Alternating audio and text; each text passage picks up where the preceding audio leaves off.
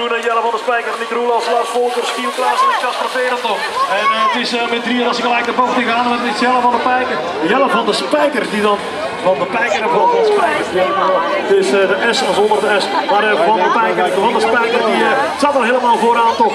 Ondertussen zien we daar na die tweede bocht de mannen op ons afkomen hier. En zien we nog dat het eh 2.47 is die daar opeens zit. Jan van der Spijker over die tweede plaats, vierde liggen. Mick Roelofs. En naast Mick Roelofs hebben we daar in 6. 20 nummer is het 6, 2, 6, 30 zal het zijn. Kiel Klaassen.